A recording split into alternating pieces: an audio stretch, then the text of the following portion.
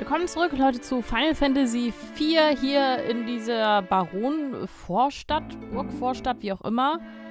Was steht hier? Baron, einfach nur Baron. Achso, und das andere ist Burgbaron oder so. Ähm, wir wollten irgendwie über diesen verschlossenen Weg weiterkommen. Da kommen wir aber her, da wollen wir nicht hin.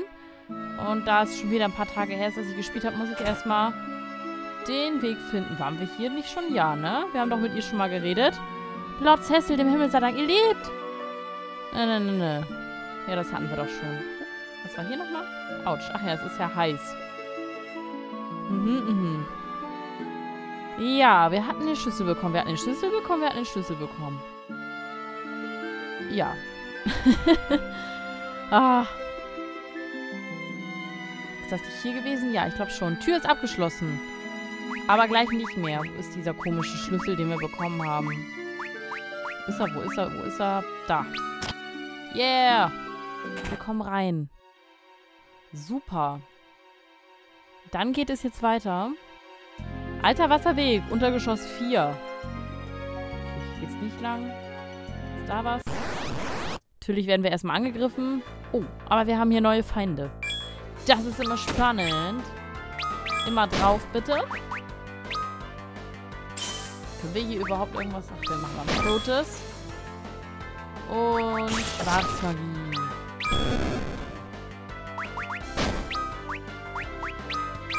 Weiß gar nicht, was da am meisten hilft. Wir greifen an, wir greifen an, wir greifen an. Oh, direkt des Brotes hat sich gelohnt.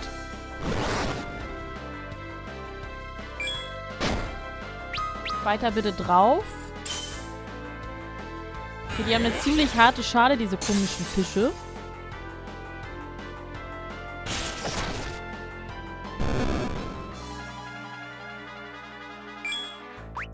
Ähm, Vita wäre schön.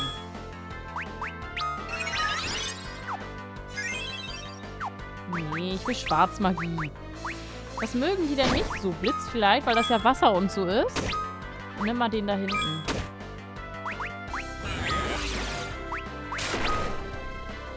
Oh ja, auf Blitz sind die anfällig. Dann nehmen wir doch mal Blitz.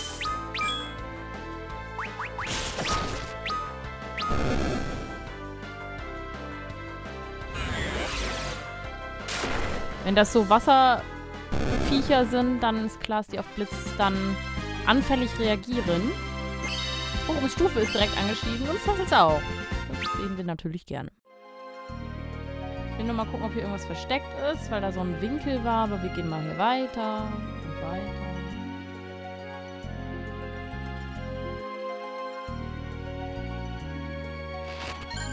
Eine High Potion. Oh, noch mehr tun. Das ist schön. Eta. Sehr gut. Rache. Rache des was? Rache, Rache, Rache, Rache. Wo steht denn das? Rache, Rache, irgendwas? Da. Rache des bewirkt Blitz. Ach, cool. Das ist natürlich schön. Da werden wir auch direkt wieder angegriffen. Das ist ja nicht schlimm. Genau. Mach die mal schwächer.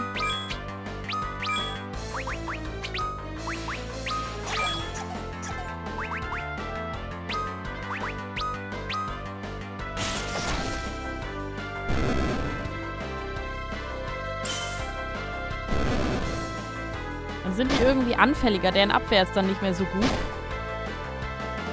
Und damit sind die physischen Angriffe, glaube ich, auch besser, wenn ich das richtig sehe. Aber da hat gerade irgendwas geheilt. Und das auch. Oh oh. Warum? Hm. Schön. Was machen wir denn da? Verteidige dich mal lieber.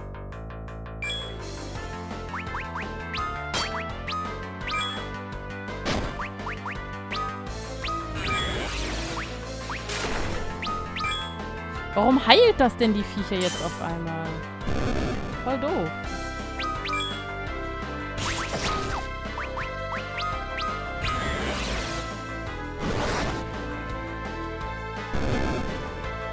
Dann machen wir eben verschiedene Zauber. Vielleicht sollte ich die einfach mal analysieren.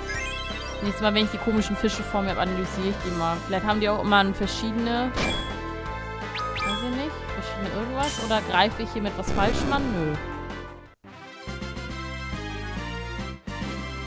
Jetzt nicht, ob das am Palom oder Porum lag. Youngs Stufe ist angestiegen. Und ja, wo geht's jetzt hier lang? Sind wir jetzt nicht schon im Kreis gelaufen?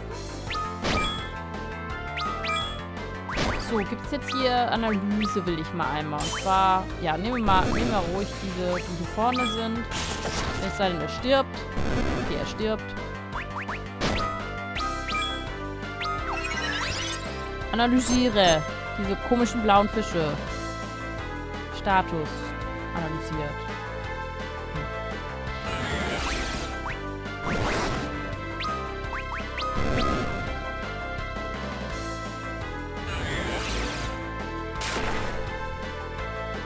Bisher reichten bei diesen Kleinen ja auch die einfachen Angriffszauber wie Blitz oder Feuer statt jetzt Feugar oder so.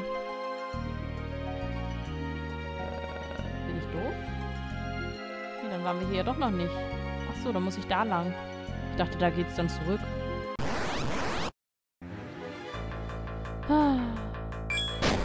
Da habe ich mich vertan. Könnt ihr euch nicht mal wieder so oder blöff doch einfach mal, genau.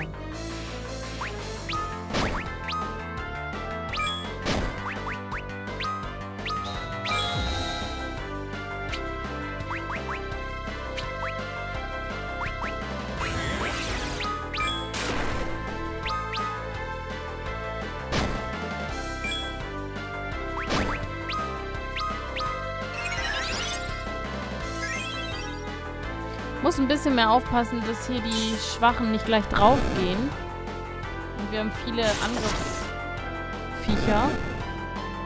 Teller muss mal wiederbelebt werden.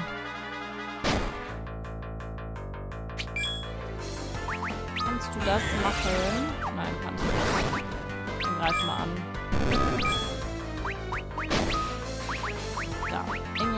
Einmal wiederbeleben. Bei so vielen Leuten, die wir haben, ist es echt nicht schlimm, wenn mal einer stirbt, finde ich. Aber es kostet halt immer so viel ähm, MP und das finde ich dann natürlich auch nicht gut. Aber wenn es mal vorkommt, weil man nicht aufgepasst hat, ist es jetzt hier in diesem Fall zumindest nicht völlig fatal.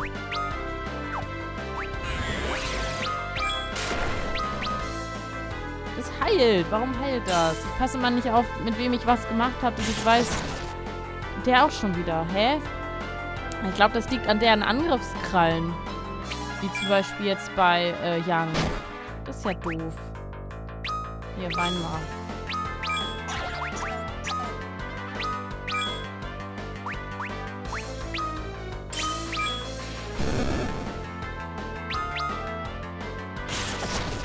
Damit hat er die jetzt geheilt. Aber mit was? Mit Feuer wohl nicht. Eis? Ist Eis heilend? Eis habe ich noch nicht ausprobiert. Weiß nicht, was der für ähm, Waffen in sich hat. Und wenn da immer steht, das ist Entzug, haben wir gelernt mit Palom. Wenn da immer steht, Analyse äh, bababa gemacht, dann denke ich immer, hä, warum wissen die denn jetzt nicht, gegen was die Feinde reagieren und was die angreifen und so.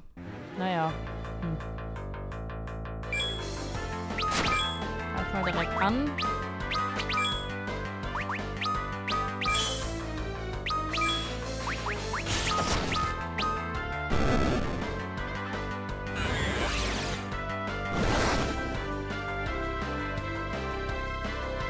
Weiß nicht, ob wir die analysieren müssen, auch die Tiere, habe ich mich auch schon oft gefragt. Ob wir die analysieren müssen, damit das in diese, dieses äh, Pokédex-artige Monster-Archiv irgendwie gespeichert wird. Ob die analysiert werden müssen dafür. Kann ja sein. Oder werden alle gespeichert automatisch, gegen die wir kämpfen. Das heißt, die Stufe ist mal wieder angestiegen. Hier. Unser Pro-Kämpfer. Unser Held. Wasserweg, Untergeschoss 4 vollständig. Drei Hype-Portions erhalten. Das ist schön. Kommen wir jetzt raus? Nein, wir kommen erstmal wieder ins Untergeschoss, ins nächste. Oh, warte mal, da ist so ein Gang. Ist da ein Gang? Oh Mann, das sah so wie ein Geheimpfad aus. Schade.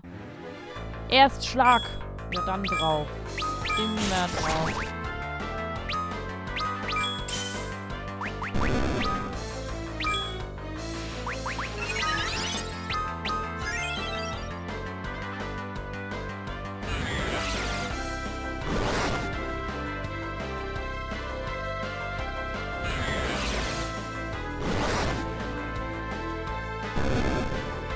Schön. Normalerweise würde ich, da das ja ein Let's Play ist, auch viele Kämpfe einfach überspringen, aber... Oh, jetzt komme ich aber irgendwo raus. Jetzt bin ich hier irgendwo sonst wo gelandet. Oh Gott. Wo bin ich? Wo bin ich? Untergeschoss 2? Hä? Untergeschoss 3. Okay. Ich bin durcheinander. Hier kann man sich sehr gut verirren. Ich dachte, jetzt habe ich einen schönen Tunweg gefunden, aber nein.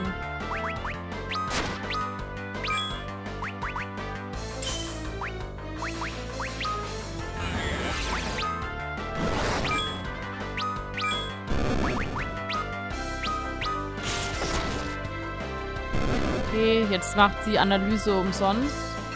Das ist nicht so toll.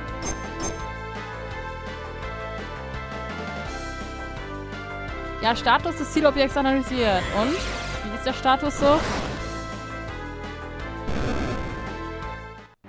Keine Ahnung. Oder machen die dadurch mehr Schaden oder was? Tellers Stufe ist angestiegen. Mhm. Jetzt bin ich so weit sonst wo gelaufen. Ich weiß nicht, wo wir sind.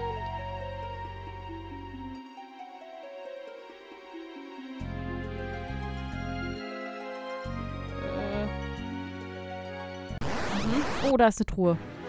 Da ist eine Truhe.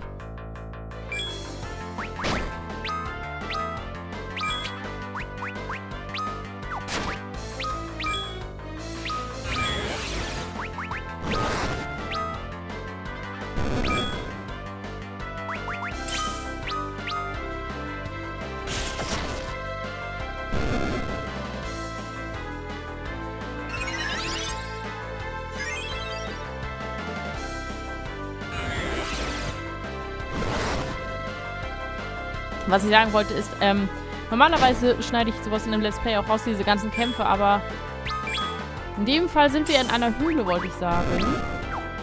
Und ich weiß selber immer nicht, was da kommt, auch an Kisten und Wegen und Geheimfaden und deswegen lasse ich das überhaupt alles drin. Aber naja. Hermes Stiefel. Können wir da jetzt irgendwas besser mal ausrüsten oder so? Okay, da ist nichts. Da ist nichts. Ich habe ja auch zuletzt mich um einiges gekümmert. Weiß nicht, ob jetzt hier irgendwo schon was Besseres wieder bei ist. Sieht nicht so aus. Nein. Nein. Nein. Nö. Nö, nö, nö, nö. Und dann ist Jan, glaube ich, eh der Letzte. Nö. Nö irgendwie eher nicht so. Können wir vielleicht mal mit irgendjemandem gucken, wo wir sind? Okay, weil zwei Kisten fehlen uns noch. Die hätte ich dann doch noch ganz gerne eigentlich. Ich weiß aber nicht, wie wir da hinkommen. Und das ist sowieso alles sehr kompliziert hier. Aber immerhin weiß ich jetzt, wie viel uns noch fehlt. Hm, das war klar.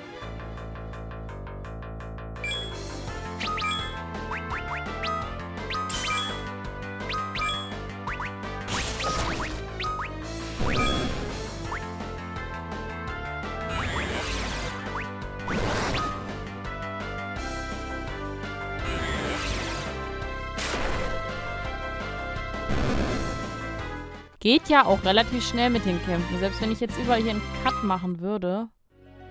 Das dauert ja echt eigentlich nicht lang. Nur nervt es, dass wirklich alle zwei Sekunden ein Kampf kommt. Das ist echt ein Makel, wie ich finde, an diesem Final Fantasy Teil. Dass es etwas zu übertrieben ist mit den Angriffen. Das ist, nervt schon. Und das sage ich ja immer wieder eigentlich. Es ist normal. Also ich kenne das ja auch aus den anderen Spielen. Aber die ganze Zeit ist halt schon nervig.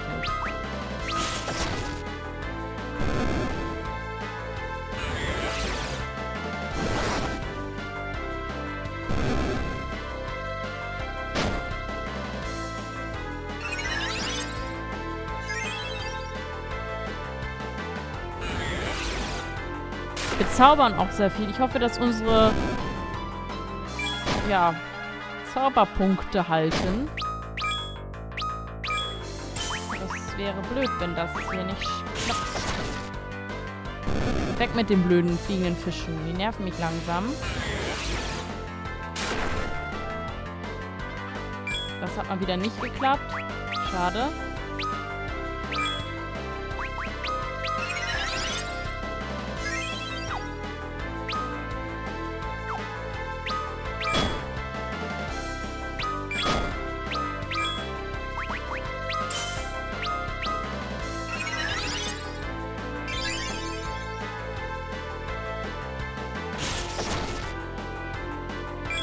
Ah, es hat ihn wieder geheilt. Das ist doof. Einer ist noch da. Ein blöder Kackfisch. Damit fertig. Oh, und der wird ihn jetzt wieder heilen, oder was? Ja, super. Okay, ich glaube, ich muss echt mal die Waffen wechseln von Yang. Das geht so nicht. Der heilt ja mehr, als er An Angriffe macht. Weg. Eigentlich ist es ja immer vorteilhaft, so finde ich. Wir haben Rohkost bekommen. Ich finde das ja meistens eher vorteilhaft hier. Aber in dem Fall zwei verschiedene zu haben. Und was wird da nicht gut gehen? Flamme oder... Hm. Kannst du die ablegen? Nimm mal die Blitzer weg. Dann hat er eben nur Flamme. Vielleicht hilft das ja schon.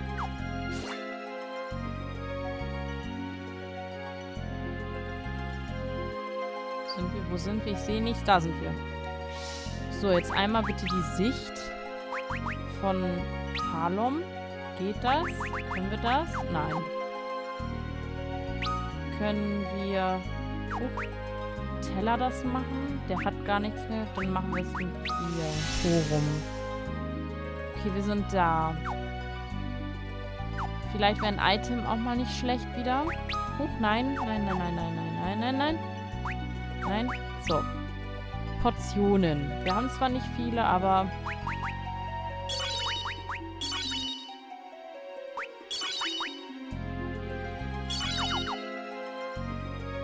Eigentlich müsste ich auch Ether benutzen.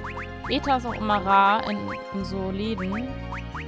Wir haben zum Beispiel nur einmal Ether. Das ist so wenig. Also hier bräuchten wir eher wieder ein Zelt oder so. Wir gehen mal nach unten diesmal. Ah, da ist nämlich eine Kiste. Wie komme ich da hin? Äh, komme ich da irgendwie rein? Hallo, Freunde. War klar, dass ihr wieder angreift. Die nervigen Dinge. So, jetzt wollen wir mal gucken, wie es mit Yang jetzt aussieht. Ich bin ja mal gespannt. Yang. Du bist dran.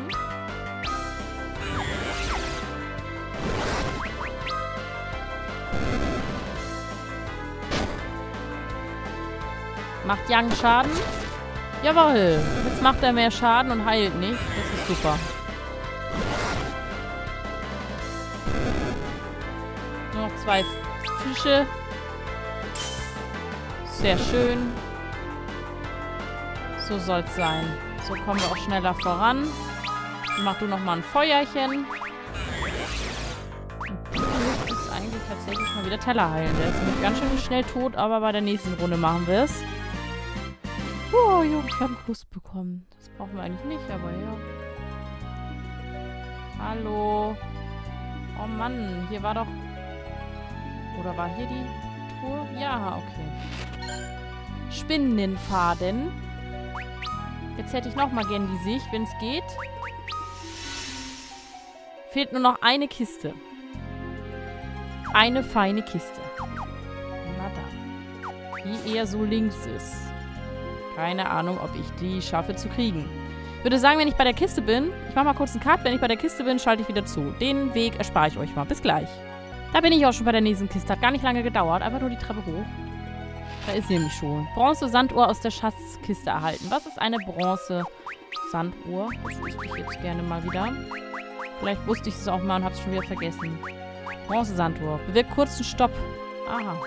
Bewirkt Sicht. Ach, das äh, Zwergenbrot. Falls uns die Sicht ausgeht. Das ist natürlich auch schön. Und dann hätten wir natürlich, wenn alle Stricke reichen, auch noch den Weg nach ganz draußen wieder, ne? Hebt Schweinverwandlung auf. Rohkost. Toll. Jetzt weiß ich endlich, wie man diese blöde Schweinsverwandlung wegkriegt. Mit der blöden Rohkost. Oh, endlich. Das ist ja cool. Mein Gott, das hat ja auch gedauert. Hier kommen wir nicht weg.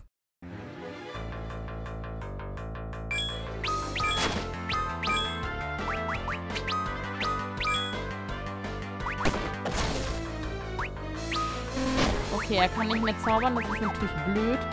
Aber wir können mit unserem Stock angreifen. Immerhin.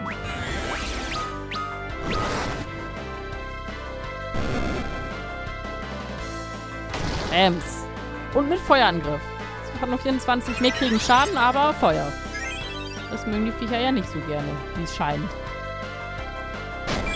So, dann greifen wir wieder an. Kostet auch nichts.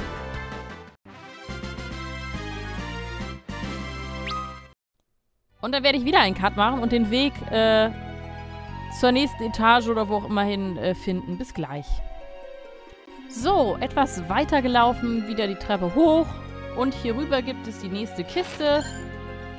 Da bekommen wir doch glatt den Äther, den wir so dringend brauchen. Und mal wieder die Fische. Gerade eben habe ich gegen komische Schlangen gekämpft. Schade, dass ihr jetzt zum Ende hin nicht wenigstens äh, was anderes sehen konntet. Als wieder die ollen Fische. Aber das ist mal. Ja, benutzt doch mal ähm, genau, eine Heilportion. So.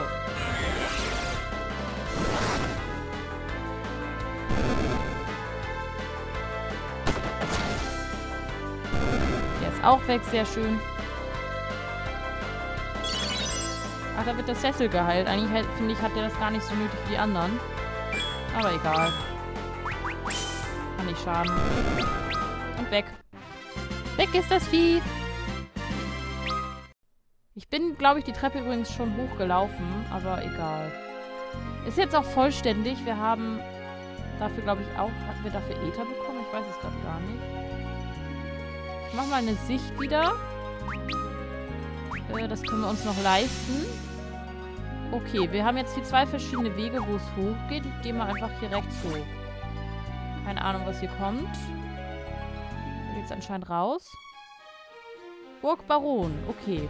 Was ist dann aber auf der anderen Seite? Frage ich mich. Den Kampf nehme ich mit den Fischen nochmal in Kauf, um zu wissen, was da ist. Einmal mindestens... Ah, da sind die Schlangen. Da sind mal wieder die Schlangen.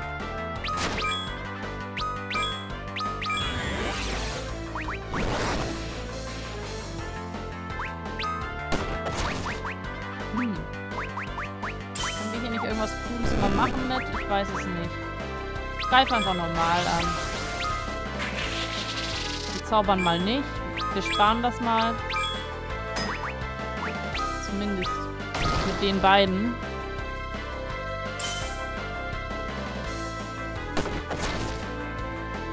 Hier wieder so eine Schlange weniger.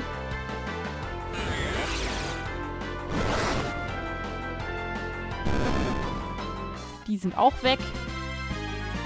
Training war es auf jeden Fall in diesem Part. Vier Gekämpfe. Das trainiert ordentlich. Und was in den Kisten war, habt ihr auch mitbekommen. Was ist jetzt hier?